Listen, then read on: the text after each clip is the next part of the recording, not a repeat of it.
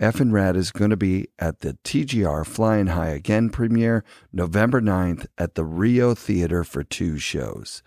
This is IF3's pick for Snowboard Movie of the Year. Also, it won Best Backcountry Part and Best Urban Part.